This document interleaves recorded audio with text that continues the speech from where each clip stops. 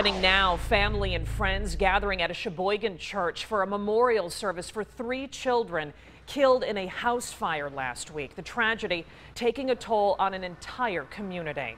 NBC 26's Raquel Amel joins us live as hundreds come to pay their respects.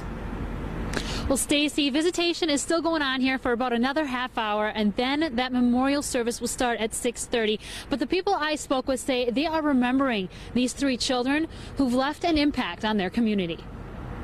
Gone but not forgotten. This community will never be the same because of this, you know, and, and, and it hurts now but it's it's bringing our community together. Hundreds of people heading to Southside Alliance Church to say goodbye one last time to three children who've touched their lives. She was one of those girls that ran up to me and was like, hey, what's your name? You're going to be my leader. And she was so excited. Caitlin Murphy ran church group for 11-year-old Natalie Martin. She says she would talk about her brothers and family often and always had a smile.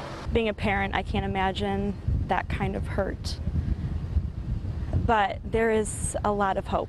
And that message of hope is what Pastor Jeff Jagger is trying to share with the community through this tragedy. When it comes to things like this tonight, tragedies like what have gone on, the reality is sometimes there are questions that just don't have easy answers, and this is one of them. Remembering and coming together, a community forever changed by a tragedy, bringing them all closer. I'm told there are hundreds of letters inside written by community members and children. Those letters will be put together into a book and given to the Mackey family. Live in Sheboygan, Raquel Amel, NBC 26.